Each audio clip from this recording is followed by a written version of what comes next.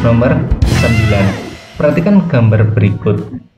Diketahui koefisien muai panjang aluminium ya tembaga dan baja berturut-turut 24 ya 17 dan 11 ya kali 10 pangkat min 6 ya.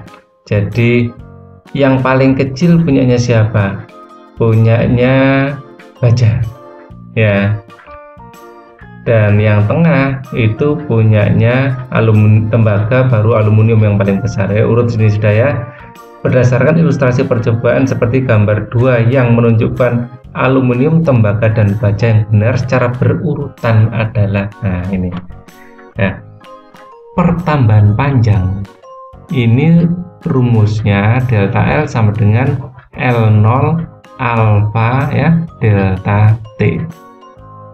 Ya karena ini percobaannya itu sama ya diasumsikan delta T yang diberikan itu sama ya. Dan panjang mula-mula terlihat dari sini kalau sama. Jadi yang mempengaruhi delta L pertambahan panjang adalah alfanya ya.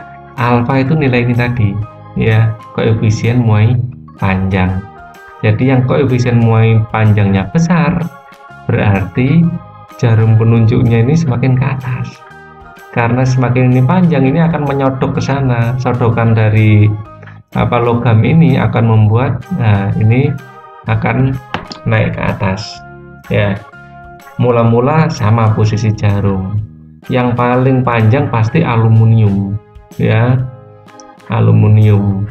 Aluminium itu yang mana? Yang paling ke atas. Nah ini R berarti ya jadi ini adalah yang aluminium. Ya. Kemudian ini. Nah ini yang paling eh, apa kecil perubahannya. Ini pasti yang baja ini. Jadi baja ini sama ya. Baja gitu aja ya. Ya baja campuran dari Fe dan karbon. Ya.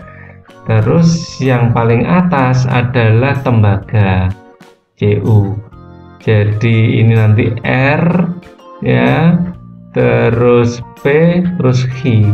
RPH jawabannya adalah yang C ya.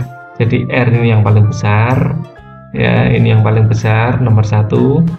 P nomor 2 dan H nomor 3 ini yang paling sedikit pemuaiannya ya. Baik ini pembahasan nomor 9